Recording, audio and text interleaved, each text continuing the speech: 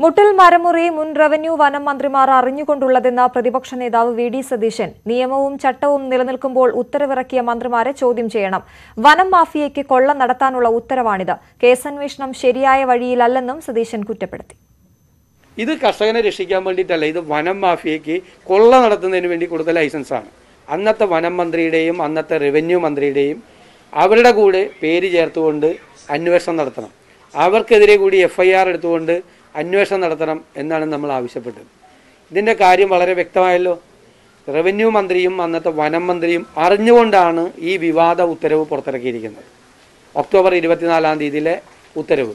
ആ ഉത്തരവ് കേരളത്തിലെ വനം മാഫിയയ്ക്ക് മരം കൊള്ള നടത്താൻ വേണ്ടിയിട്ടുള്ള കച്ചീട്ടാണ് ലൈസൻസ് ആയിട്ടാണ് അത് കൊടുത്തിരിക്കുന്നത്.